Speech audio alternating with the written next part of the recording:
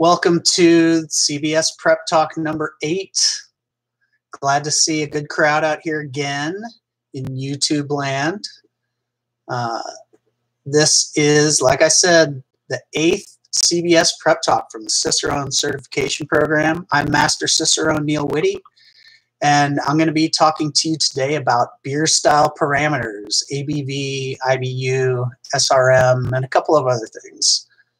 So this is the eighth one of a 12 session series of informational videos designed to help you boost your beer knowledge uh, and potentially to help you take and pass the certified beer server exam. Uh, these are kind of general uh, general oversight informational videos about some select topics. Uh, I did see a question in the chat just before we started uh, asking if uh, if you watch all 12 of these, if you have all the information necessary to take and pass certified beer server, uh, we don't have enough time to cover all that potential content. So if you are preparing for a certified beer server, uh, you probably need to study a little bit more, do a little bit more preparation. But this is going to get you a great start. Um, as I mentioned, there are 12 of these. Uh, this is number eight. Uh, we're doing these every Tuesday and Thursday at 1 p.m. Uh, 1 p.m. Central Time. Um, so, being number eight, we've got four more left. The last one is going to be on Thursday, May 28th. So, uh, hopefully, you're tuning in. All the previous ones are posted at uh, the Cicerone YouTube channel. You can watch the past ones if you haven't seen all of them. If you have tuned in before, thank you for returning. Uh, if you tuned into the last one on proper glassware and pouring techniques, thank you uh, for showing up again. Uh, for those of uh, you out there who are Spanish speakers, uh, Chema Mora, our business development manager for Latin America, is doing these same talks uh, on the Cicerone Facebook page every Monday and Friday at 1 p.m. Central Time. Uh, so you can tune in and catch those. Uh, he is several episodes behind where I'm at. So um, you can look for him there. Uh, so a couple of couple of things we're we're doing uh, in conjunction with this. Uh, we've got review questions that we've been posting every week on our Cicerone blog that are questions that are designed for you to help follow along with these prep talks. Uh, so you can follow along, you can quiz yourself afterwards with the questions, uh, quiz your friends or whatever, use them as a study aid. Uh, and we'll post the answers to those questions at the beginning of the next session. So the questions you'll find for today's session will be posted at the beginning of Tuesday's session. And so the questions on glassware from Tuesday are now posted at the blog site for you to review. Um, so to get there, uh, all you need to do is go to our blog. There's a link uh, that just got uh, I think uh, was that posted in the chat? Yeah, there it is posted in the chat. Uh, it'll get posted in the chat again. Uh, or if you want to navigate to uh, cicerone.org, and at the top of the homepage, there's a link to our blog there, and you can find those questions. Um, so uh, there's some great stuff in that blog too, some cool articles. Uh, you know, I just we just posted one that I wrote about starting up draft system after hibernation. Um, some good timely topics there. Uh, we're cranking out a ton of great content at Cicerone uh, for everybody out there. Uh, we've got a bunch of great stuff on our YouTube channel where you all are right now. Uh, so if you want to check out more stuff, go ahead and subscribe. hit that subscribe button and get access to lots of cool Cicerone content. Um, another cool thing we're doing along with this is every session of the CBS Prep, Talks, we are giving away 10 certified beer server exams. It's a $69 value. Uh, we've done seven talks so far, so we've given away 70 exams so far. Uh, it's pretty cool. Um, all you have to do to enter is fill out a short questionnaire. The link to that questionnaire is going to be posted uh, at the beginning of the question and answer session today. So once I start Q&A, I'll give you a little reminder, and then the link to that will be posted in, in the chat. Um, and you'll have until typically 3 p.m. Central Time, so about an hour and a half roughly after it posts, you'll have time to fill it out. It'll close after that. Um, so you'd fill that out, um, and you'll be entered to win a, a free certified beer server exam. Um, we do ask that uh, if you are already a certified beer server to please not enter. Uh, save those free exams for the people who still need them. And if you are already a winner, if you're one of the 70 people who have won, uh, don't enter again because you can't win twice. Uh, when you do enter, make sure you are typing your email address in correctly uh, we don't want it to bounce. So we'd hate for you to have an opportunity to win and just have a typo be the difference between you being able to collect your prize and not. Um, so as I've been doing each time, uh, here's the winners from Tuesday. First names only. We've got Juan, Emily, Matthew, Lewis, Todd, Melanie, Ken, PJ, Arlene, and Corey congratulations uh, for winning your free certified beer server exam. Okay. Uh, so I I am getting a note that there's a little bit of crunchiness in my volume. Hopefully, uh, a little shift around can help here. So I'm going to try and speak a little more slowly and clearly uh, so everyone can tell what I'm saying. I'd hate for it to be screwed up for everybody out there. Um, so I'll look for a few more notes to make sure that everything is fine. Um, so let's go ahead and dive into the content. Um, we are talking today about beer style parameters, ABV, IBU, and SRM, some of the things that we uh, some of the things that we use to differentiate between different styles of beer.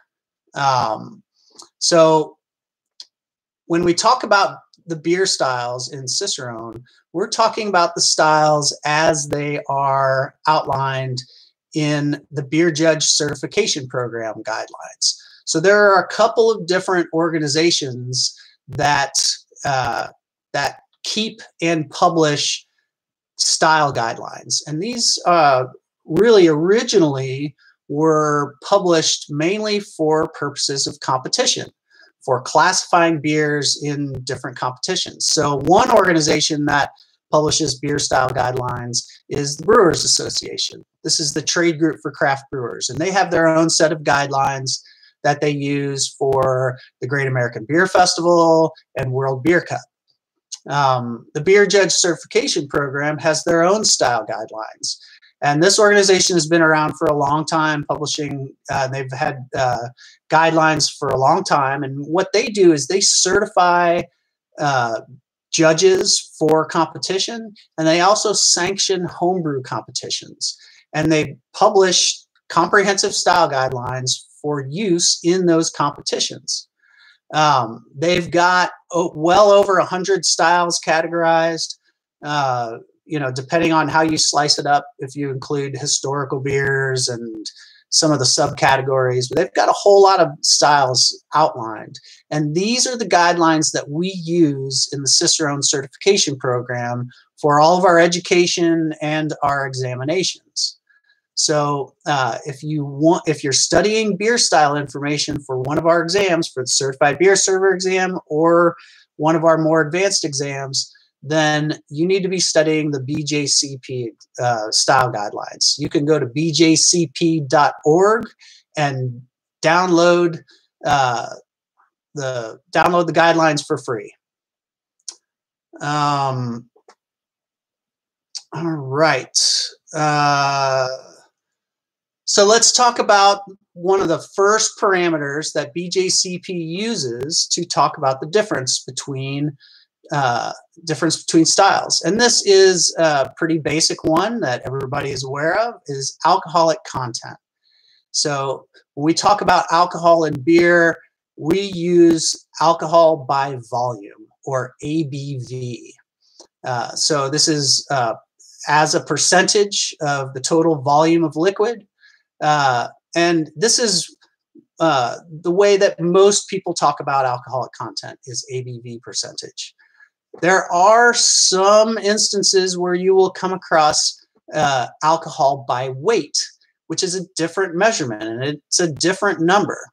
Alcohol by weight is rarely used in regular conversation, uh, but uh, it's mainly used uh, in in certain types of laws and regulations and state laws that they have on the books that regulate alcohol. Specifically, if you live in a state that has or used to have 3 2 laws, there were several laws that were written uh, around uh, the alcoholic strength of beer uh, and the level of 3.2 ABW. So there were certain alcoholic strengths that couldn't be sold in certain channels in certain like grocery stores or convenience stores. And they would use the 3-2 percentage by weight as the kind of cutoff of what was considered to be strong beer or not. Um, most of those laws don't really exist anymore. A lot of them have, have very recently been abolished. Um, but that's that's typically the context where you would see ABW. So all of the conversation that we have at Cicerone, all of our education, all of the testing, and everything that you're going to find on BJCP is ABV. Uh, just so you know what the reference is for ABV versus ABW, ABV is a higher number. So uh, a 3.2 ABW beer is roughly equivalent to about a 4.0 ABV beer. Okay, so the next parameter uh, that we that we talk about is bitterness, and this is a term uh, that a lot of you have heard of already. Most of you probably have. It's IBU, International Bitterness Units. So these international bitterness units is literally a laboratory measurement of the bittering resins in beer. And this is a number that ranges from about 1 to 100. And there are measured numbers that can be higher than 100, but it's generally accepted that numbers above 100 are beyond the threshold of what the average person can taste. Uh, so some good reference points for uh, for IBU uh, would be you know your typical American light lager beer, like a like a Budweiser, for example, would be in in the mid single digits, maybe five to seven IBUs, very low. Uh, something like a Sierra Nevada Pale Ale is about 35 to 37 IBUs, and your average uh, IPA or double IPA can be upwards of 100 or more. Uh, so that's where you get into the really big bitternesses when you're up in uh, in the 70s, 80s, 90s, and above. Um, and so when you get up to 100, again, uh, once you get past 100, you're getting past the point where you can really tell the difference between that. So if somebody gives you a 100 IBU beer and then 130 IBU beer, you might not really be able to tell the difference between them. They're both just going to seem very bitter. Um, so this laboratory measurement of bitterness, this IBU number, is really just kind of part of the picture. Uh, it doesn't tell us the complete picture of bitterness um, as uh, as you experience it in beer, as it's perceived. So we talk about uh, something else as well, and especially at the certified ser uh, beer server level, we talk about perceived bitterness. And so perceived bitterness can be different than the actual measured bitterness because your perception of bitterness is affected by a number of other things that might be going on in the beer. So bitterness can, for example, be accentuated by carbonation. So if you have a higher carbonated beer, it's going to accentuate your perception of the bitterness. And bitterness can also be masked by big malt flavors. So if you have, you know, a really rich, sweet, full-bodied beer, a lot of those malt characteristics can mask some of the bitterness. And so you might not perceive it as much in a beer like that. So a good example would be if you have, for example, a 40 IBU Pilsner beer and a 40 IBU Imperial Stout. A 40 IBU Pilsner beer is going to give the impression of, of a, a quite bitter beer. That bitterness is going to stand out quite a bit. Whereas the Imperial Stout has so much rich, roasty malt character and so much else going on that it can cover up some of the bitterness uh, in the beer. And so you won't perceive that 40 IBUs as much in that beer as you would with the Pilsner. So perceived bitterness is, uh, is maybe in, in, certain contexts more relevant uh, to, uh, to your experience of drinking a beer. So the next parameter is color. So color is uh, is outlined in BJCP by uh, something we call SRM. SRM stands for Standard Reference Method. And so this again is a number produced by laboratory analysis of the color of beer. Uh, so this laboratory analysis uh, gives us a number, and this is a uh, an agreed on method by uh, by beer chemists. The American Society of Brewing Chemists has a method that gives us a standard number. This SRM number uh, assigns a number to the color that can be anywhere from, you know, the everyday language we might use would be straw or golden to amber to brown to black but then there's number designations to that. So BJCP has a range of SRM from 1 to 40, 1 being very light straw color and 40 being black. Now, measured numbers of SRM can actually go far above 40, uh, but a lot, but beyond 40, you're really talking about differences that you can't really see visually. So it's just degrees of black. In fact, you really have to do dilutions in a laboratory to be able to see the different shades of black and the different darkness. So uh, from a practical standpoint, from a stylistic standpoint, when we're talking about the different styles of beer, any discussion of SRM beyond 40 isn't really relevant. So 40 is black, and that's as high a number as you'll see on BJCP. So there's also uh, uh, another method and another number that could be used for measuring color, and that's EBC, stands for European Brewing Convention. Uh, so SRM is used primarily in the United States, whereas EBC is used in other countries around the world. Uh, there's a rough conversion method. Uh, EBC is roughly two times SRM. It's actually more like 1.97, but you know, for all intents and purposes, if you double the SRM number, you're pretty close to what that EBC number is. So those three uh, parameters, ABV, IBU, and SRM, are detailed for every single style in the Beer Judge Certification Program style guidelines. And you're going to find for each one an upper and lower limit of those numbers. And uh, and so a beer that's brewed specifically to a style guideline that fits nicely into a style guideline will likely have ABV that fits in the range, IBU that fits in the range, and SRM that fits in the range. Um, as we all know, there are some beers that don't fit neatly into style categories, so some beers may not fit exactly in there. Uh, but these are parameters that BJCP has outlined for all of those. Uh, at the certified beer server level, we don't require you to memorize those upper and lower limits for purposes of examination. So we just ask that you understand these parameters from an everyday language standpoint.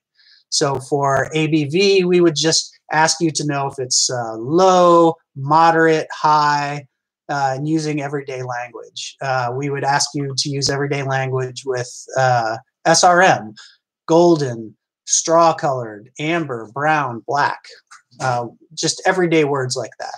Uh, as you advance through the Cicerone certification program examinations, certified Cicerone and beyond, we do ask that you memorize those parameters. And so you will need to know those for more advanced examinations.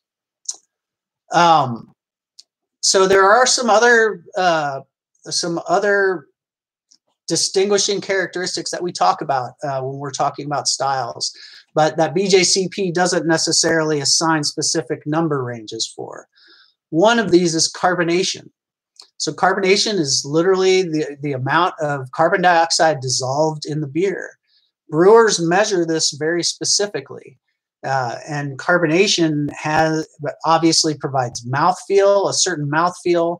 Um, and carbonation, like I mentioned before, can enhance certain characteristics of beer, like bitterness. So, uh, carbonation is measured very specifically by brewers, and they use uh, a measurement called volumes of CO2. Uh, so, volumes is just simply a reference to it's basically means that it's the equivalent amount of gas in that will fill the same size vessel so if you have a keg of beer that has uh, two and a half volumes of co2 if you were to be able to magically take that two and a half that just that gas out of the beer it would at standard at room temperature and atmospheric pressure it would fill up two and a half kegs just by itself. That's what volumes means. So that's the measurement that US brewers primarily use for measuring CO2 in beers, volumes. Uh, outside of the US, you'll see uh, a different scale used, and that's grams per liter. Um, so volumes in the US and grams per liter typically in Europe and in other countries. And we've got one other parameter that I want to talk about, and that's attenuation. And attenuation uh, is something that maybe not everybody has heard about, but this is uh, attenuation is the measurement of the amount of sugar that is consumed by yeast during fermentation. So if you remember back to the brewing process, fermentation is where yeast is eating sugar and creating alcohol. And so in the brewing process, we're creating those sugars that are food for the yeast. So we create a, a, a, certain amount of sugars that go into the fermenter, but not all of those sugars are going to be consumed by the yeast. The yeast will only eat some of those sugars. Um, and so attenuation is really a measurement of how much of the of that sugar is being consumed.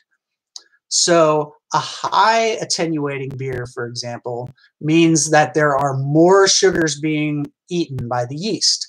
It's highly attenuative, it's eating a lot of sugar. So, if you have high attenuation where there's lots of sugar being consumed, the end result is that there's less sugar in the finished beer. So, if you have less sugar in the finished beer, the beer is drier and a little bit lighter in body. So high attenuation produces a drier, lighter body beer. Now, if you have a low attenuating beer, a low attenuation in your beer, that means fewer sugars are being eaten. And so the end result in the beer is that there's more sugar left behind, which creates a fuller body. So the general range of this is about 65% to 85%. So 65% attenuation, where 65% of all the available sugars are consumed, that's very low. So if you have 65% attenuation, you're probably going to have uh, a fuller bodied beer. There's more sugar left behind. If you have 85% attenuation, that's very high. So that means there's less sugars available in the finished beer so it's drier and lighter in body. So that's what we mean by attenuation. So by describing the attenuation, uh, you're going to have uh, a little bit, uh, you have an idea of uh, what the character of the finished beer is going to be. Okay. So uh, I haven't seen much more about the sound. I'm I'm assuming that has been improved. Uh, I want to move on to a question and answer session. Uh, and before I get to that, I want to bring your attention to uh, the survey. If you want to enter to win one of 10 free certified beer server exams, uh, fill out the survey. There it is in uh, the chat right now. Click on that link, fill out the survey, and you're entered to win. This will be open until 3 p.m. Central. So, in about an hour and a half, that is going to close. And uh, then you'll have to wait until Tuesday to try and win again. Um, so, go ahead and fill that out. When this video is posted, after we're finished, the video will be posted on our YouTube channel, and that link will continue to be open. It'll be in the description of the video. Okay. So let me go to some of these questions here. Um, um, all right. Uh, Christy asks, does ABV also affect perceived bitterness? If you had two beers with the same IBU, but one has higher ABV, will that affect the bitterness? Well, so ABV would be one of the factors that could uh, could affect perceived bitterness for sure. So perceived bitterness is, is affected by how intense are all of the other characteristics in the beer. So if you have a really high alcohol content, that's going to create some warming sensation. It's going to have uh, a certain flavor associated with that. And that is going to potentially take away from your perception of the bitterness. Peter asks, what about weird colors like a fruited sour that's bright pink? So this is a that's a really good question. Uh, typical beer colors are uh, are the way it's measured is by taking a, a, certain size sample and shooting a particular wavelength of light through it and measuring how much is diffracted. And that and so what we're measuring with beer is essentially how yellow is the beer. And, and it's and so we're measuring within a pretty narrow spectrum because of the natural color that it's produced during malting uh, because we get color from the malt um, when you add other ingredients and add different colors it gets beyond what srm can accurately represent uh, so we don't really have good SRM numbers for pink beers or blue beers or green beers or anything that's got something unusual that adds a different color. Um, Joe asks, is it possible to calculate or measure color and or bitterness as a home brewer without a laboratory? Uh, well, sure. So for uh, you can get a reasonable approximation.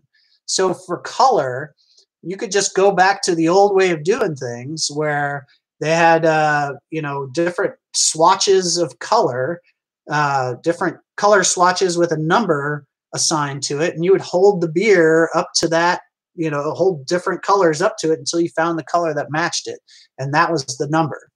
Uh, that was uh, goes back to what was the old Lovibond method. Um, you can get uh, you can find uh, SRM uh, color swatches out there on the internet. There's plenty of them out there. A quick Google search will bring up a whole bunch of them, and uh, and use that at home with your homebrew. And there's also formulas you can use to approximate IBUs or the or the bitterness levels in your beer.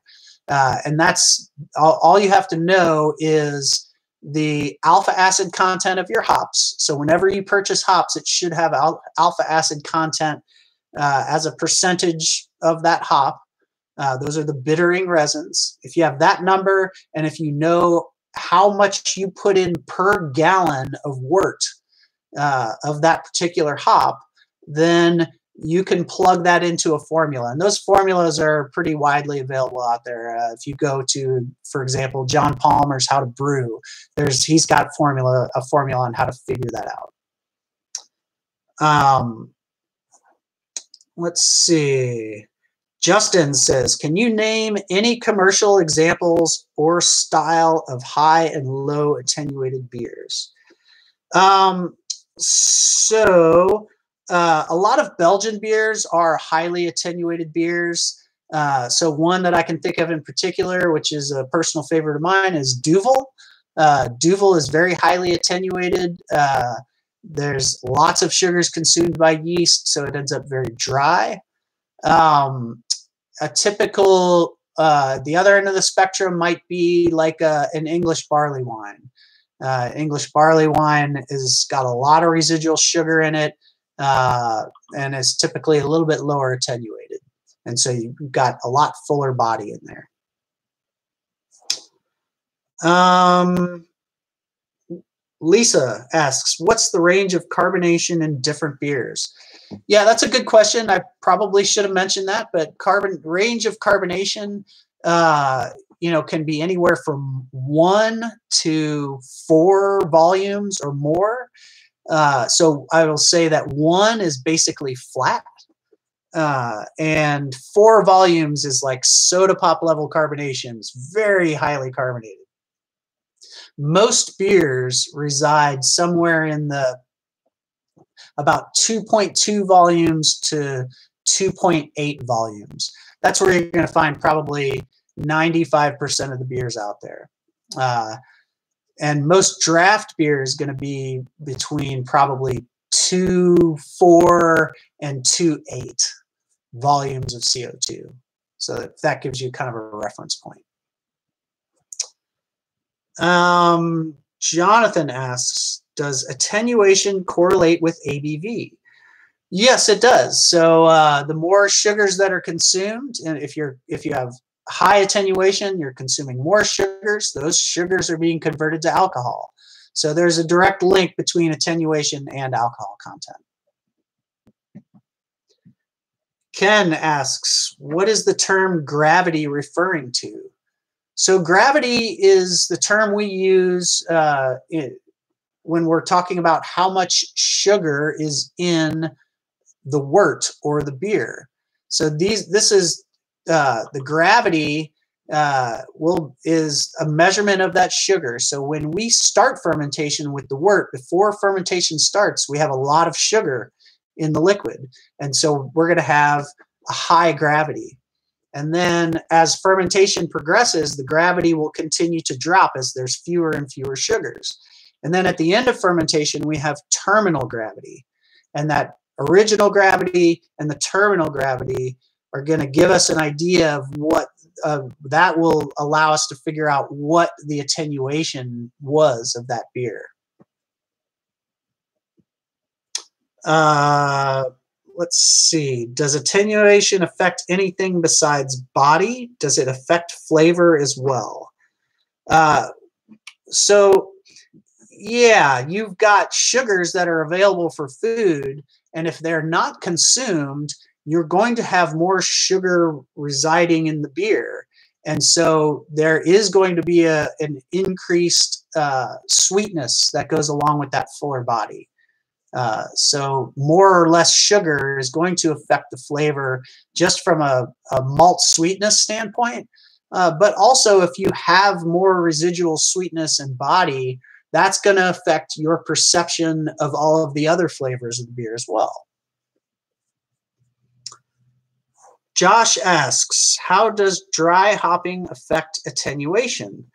Uh, well, so the simple answer is that dry hopping uh, does not affect attenuation. Dry hopping is typically done after uh, fermentation is complete. Uh, but as a technical standpoint, there's a lot of research being done on a phenomenon called hop creep, and this is getting beyond certified beer server level content. Uh, but hop creep is a phenomenon where you have uh, further attenuation that takes place after you've dry hopped. And there is an effect that uh, we're starting to see with hops being added in fermentation that is affecting attenuation. But that's uh, a technical, uh, little technical detail that is still being actively researched by researchers right now. It's actually a, a current research topic in beer, uh, not a certified beer server level uh, detail. Um, let's see. Christy asks, does a low attenuated beer cause a sugary feeling in the mouth, similar to the feeling you get after eating something really sugary?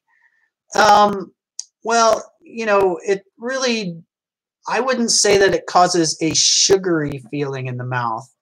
Now, if you have uh, some, if you have a beer that's very poorly attenuated, so maybe not attenuated uh, uh if you have a real fermentation issue, uh, where the yeast is simply not doing its job. Low attenuating fermentation can be acceptable, uh, but if it's way too low, then you could have lots of residual sugar that uh, that could potentially give you uh, maybe a saccharine sweet kind of characteristic. Possibly. Depends on the context of the beer, really. Um, Kurt asks, what about OG versus FG? So I just answered that before. The original gravity, OG is is original gravity, the starting point. Uh, FG is final gravity, also known as terminal gravity, uh, and that's the end point of gravity after fermentation. Uh, Zoltan asks, what about relative bitterness, BU versus GU? So we can take uh, we can take bitterness units and put them in a context against the way that we measure gravity, uh, and we can compare those as a type of ratio. Uh, so by looking at our measurement of of gravity versus our measurement of bitterness, we can look at that in a ratio form and be able to tell what the balance of the beer might be. Is it balanced more towards the hop bitterness or is it balanced more towards that malt sweetness? Um, that's the short answer without getting too into the weeds of details on that. Uh, next question is what gives the red color to a beer?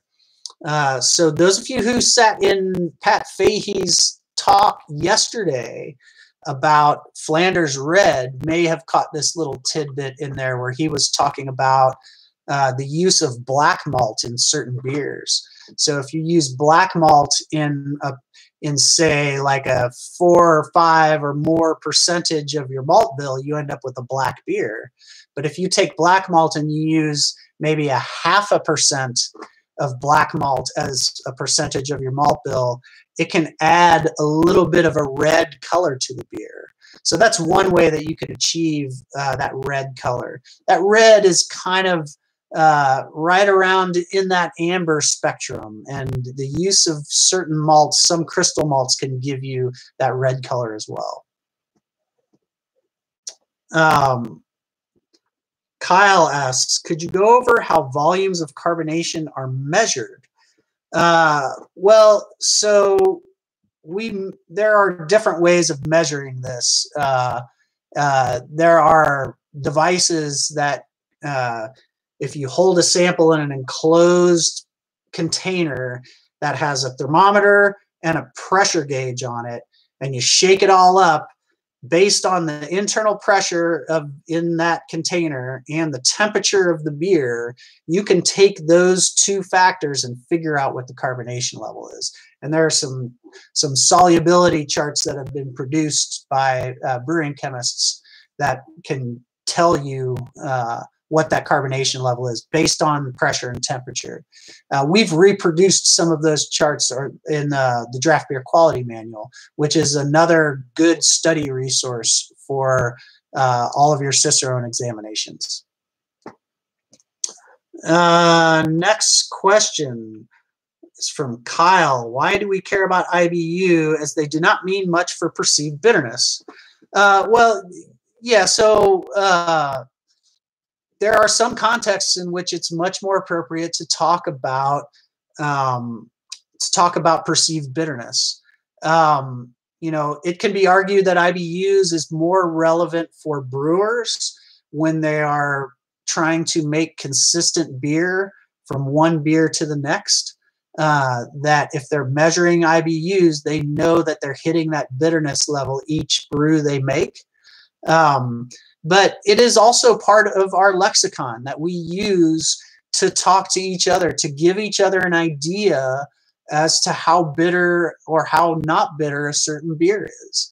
And so, you know, a lot of the terminology we use uh, is relevant as just being common language that uh, that allows us to describe things more accurately. Uh, so, is it the be all end all of of the discussion of bitterness in a beer? Oftentimes, no. Um, is it useful in discussion with other people to say this is a 75 IBU beer as opposed to a 25 IBU beer? I would argue, yeah, that's that's a useful uh, point of reference. Uh, next question. Do the yeast produce alcohol and rise ABV on second fermentation in the bottle? And how is that measured? So yes, that that does happen in bottle conditioning where we have a secondary fermentation in the bottle. That fermentation uh, produces more alcohol, so it does slightly increase the ABV. Uh, now brewers are measuring the the sugar that they put in for bottle conditioning very specifically, and they know how much uh, alcohol will be produced by that amount of sugar addition. Uh, and they'll also have an idea of how much carbonation can be produced by that as well. And so they take that into consideration with their labeling. Um, let's see. Next question from Dave. How do volumes change for nitro beers compared to carbonated beers? So your average nitro beer, uh, a nitro beer, if you don't know what that is, it has large amounts of nitrogen gas dissolved in it, as opposed to large amounts of CO2 with a regularly carbonated beer. Uh, so a nitro beer, even though the primary gas dissolved in a nitro beer is nitrogen, there still is a lower level of CO2 that's dissolved in there as well most measure the measured levels of, of an average nitro beer is going to be somewhere between uh, 1.4 and 1.6 volumes of CO2. So that's very low, uh, and it's for all intents and purposes, it's a it's a flat beer from a carbonation standpoint. Uh, but when you pour a nitro beer and you pour it properly and you get that gas breakout and the cascade of bubbles, part of that action is dependent on that low level of CO2 as well. Um, Nathaniel asks, is there really such a thing as a zero IBU beer? Sure. Yeah, absolutely. Uh, if you make a beer that doesn't have hops in it, for one, or a great example would be uh, lambic beer. Uh, so uh, a lambic or gueuze uh, or a fruit lambic, those beers are typically zero IBUs. So they use aged hops, uh, which have which don't really contribute any type of bitterness, uh, and the, there's really no emphasis on bitterness in those beers. It's all about acidity and you know some type of residual malt flavor and some big fermentation aromatics, uh, but uh, no emphasis on bitterness. Andres asks, once attenuation is reached by X yeast, is it possible to add a second yeast to process residual sugars? And does that bring a positive potential result? Uh, so the first part of that is sure. Uh, there are some yeasts that are going to produce that are going to ferment uh, sugars that your regular brewer's yeast won't eat. Um, so you could potentially add yeast that will ferment out further sugars. A great example of this would be Brettanomyces. Brettanomyces yeast is oftentimes used as a secondary fermenter in bottle conditioning. So you could have a fully uh, attenuated beer. Uh, all the available sugars have been consumed that would be normally consumed by the uh, Saccharomyces yeast.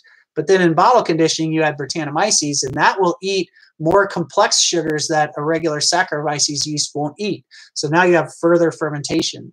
And in that context, that could be a very positive thing and could result in a beautiful beer.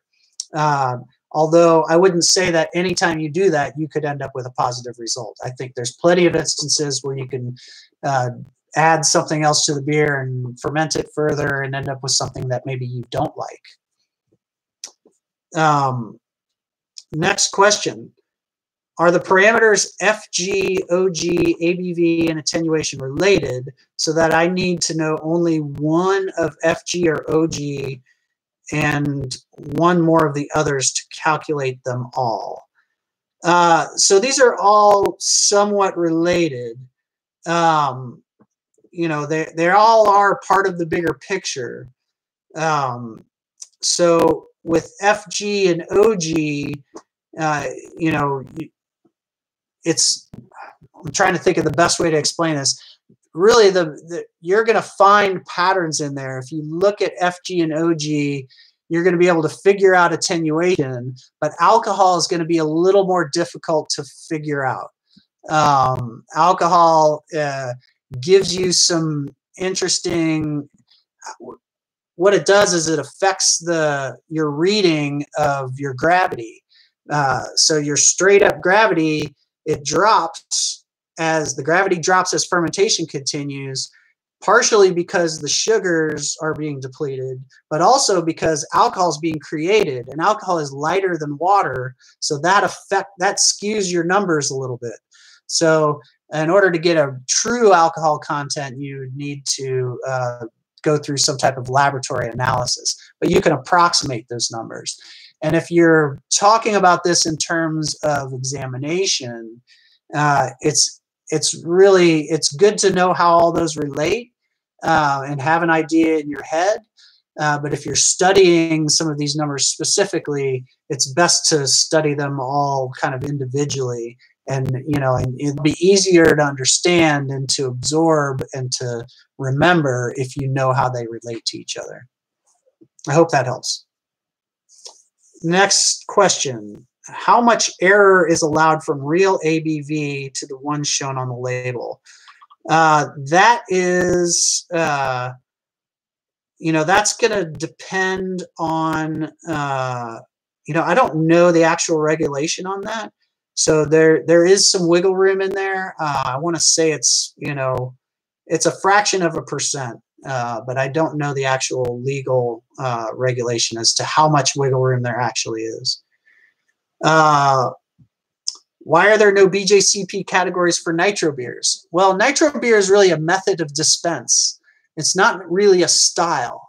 So what you find is that, for example, uh, uh, an Irish stout is kind of a classic example of a beer style that is served uh, as a nitrogenated beer, but it's not always served that way.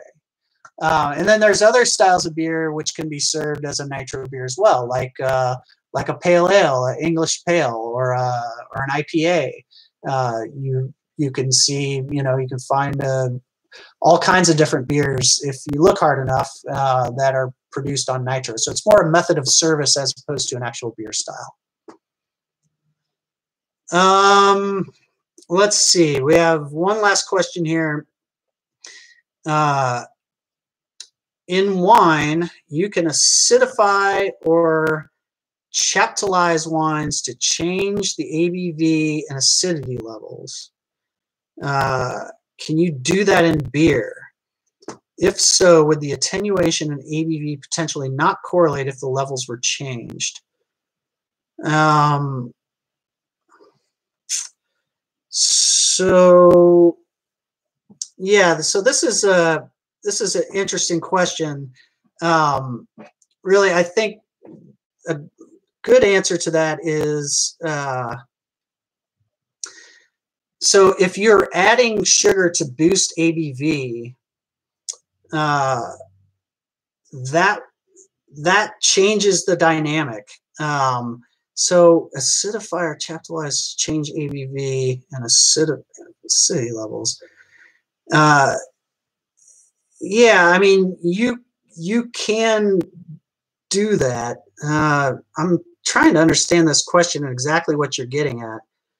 Uh, can you acidify or chaptalize wines change ABV and acidity levels? Can you do that in beer? You can certainly you can certainly add uh, sugar to change ABV levels. Would the attenuation ABV potentially not correlate?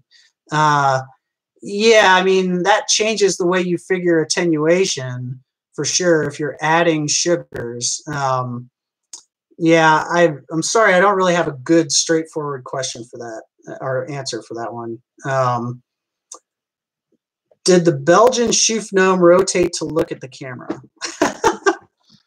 uh, Marcel back there uh, has been watching over me this whole time. Um, he may have shifted in place while I was talking. Uh, if so, uh, um, you know, I don't really know what to say, but he might be he might be doing that. Um, okay, well, that is the end of the questions. Uh, thank you again for joining.